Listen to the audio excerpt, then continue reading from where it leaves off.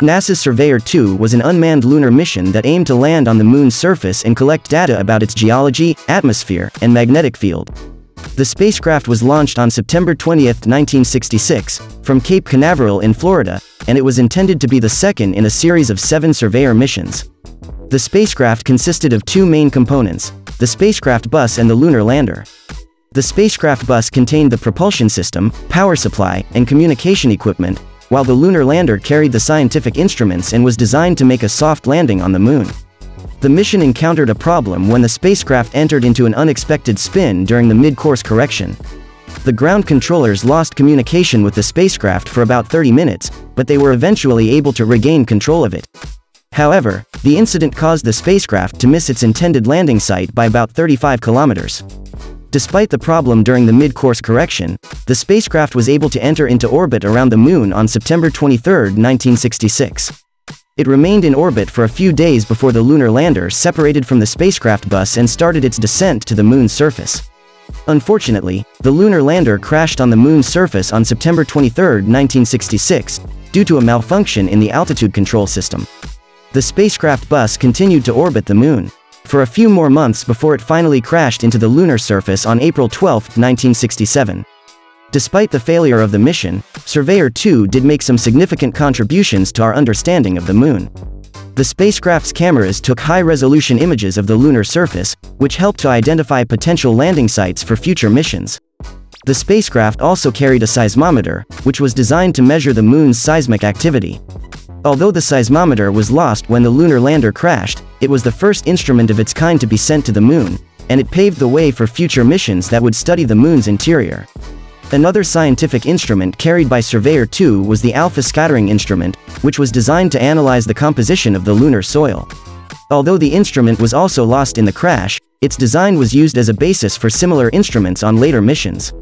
Surveyor 2 was also notable for being the first spacecraft to use a radar altimeter to determine its altitude above the lunar surface. The instrument was able to provide precise measurements of the spacecraft's altitude, which was essential for the successful landing of future missions.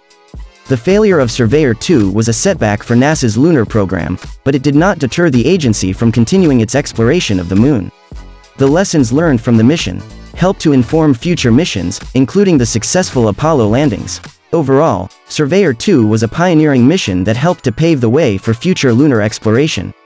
Despite its failure, the mission made significant contributions to our understanding of the Moon's geology, atmosphere, and magnetic field, and it provided valuable lessons that helped to inform future missions.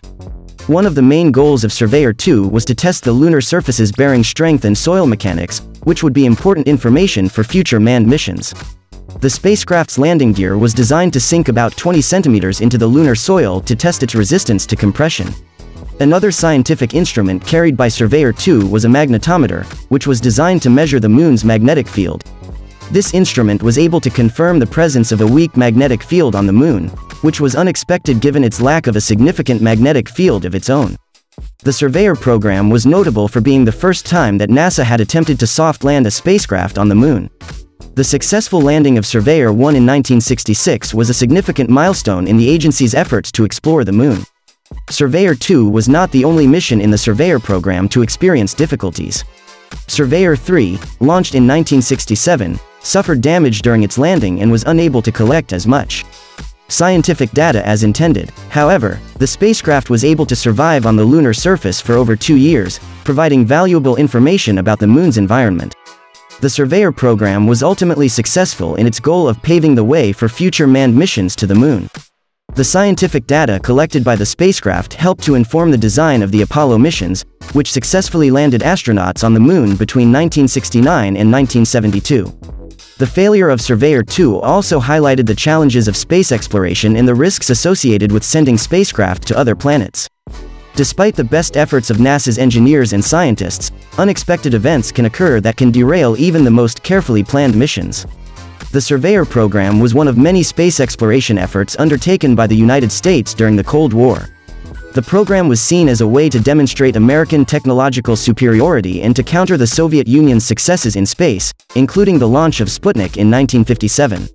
The scientific data collected by the Surveyor program also helped to advance our understanding of the formation and evolution of the Moon. The Moon is thought to have formed about 4.5 billion years ago from debris left over after a Mars-sized object collided with the Earth. The Surveyor program was one of many unmanned lunar missions launched by NASA during the 1960s and 1970s. Other missions included the Lunar Orbiter program, which mapped the Moon's surface, and the Ranger program, which attempted to land spacecraft on the Moon. The scientific legacy of the Surveyor program continues to this day. The data collected by the spacecraft has been used to create detailed maps of the Moon's surface and to identify potential sites for future exploration. In recent years, there has been renewed interest in exploring the Moon, both by NASA and other space agencies. In 2024, NASA plans to launch the Artemis program, which aims to send the first woman and the next man to the Moon. The Artemis program will build on the scientific legacy of the Surveyor program, using the latest technologies and scientific instruments to explore the Moon in greater detail than ever before. The lessons learned from Surveyor 2 and other lunar missions will help to ensure the success of this ambitious program. In conclusion, Surveyor 2 was a groundbreaking mission that helped to pave the way for future lunar exploration.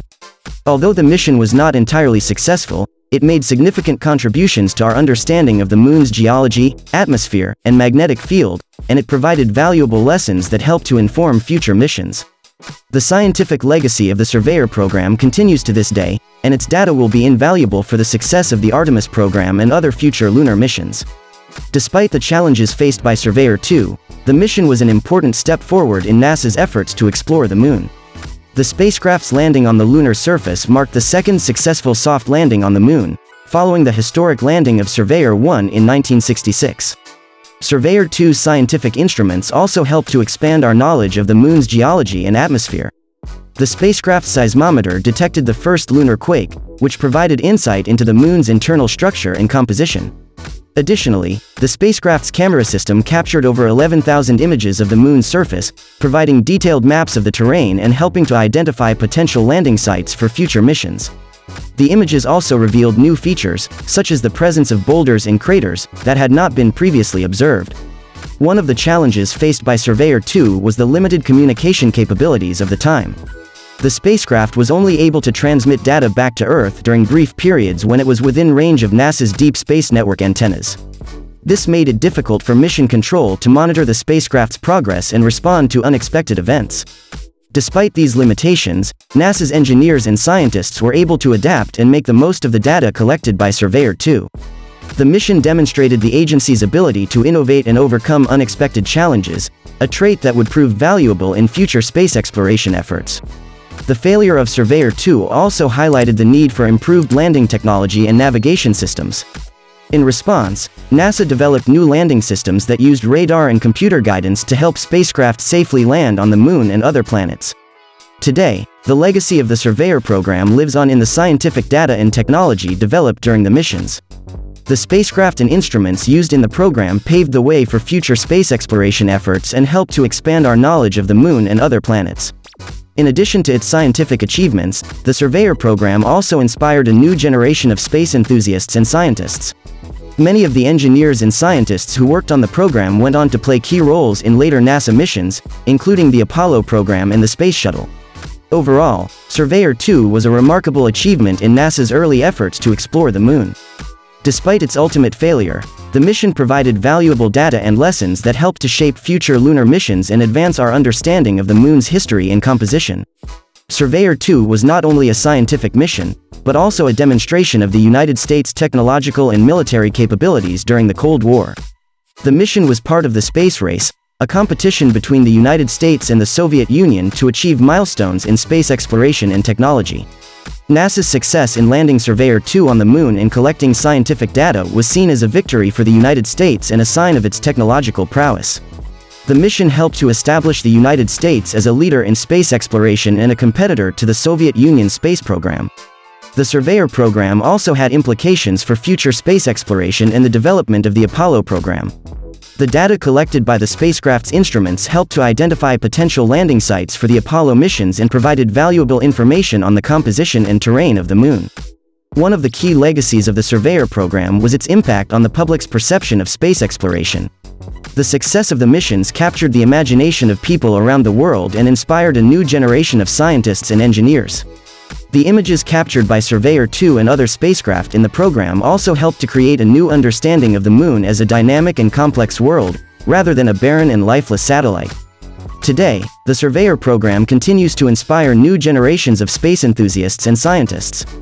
The scientific data collected by the missions is still being analyzed and used to advance our understanding of the Moon and its place in the solar system.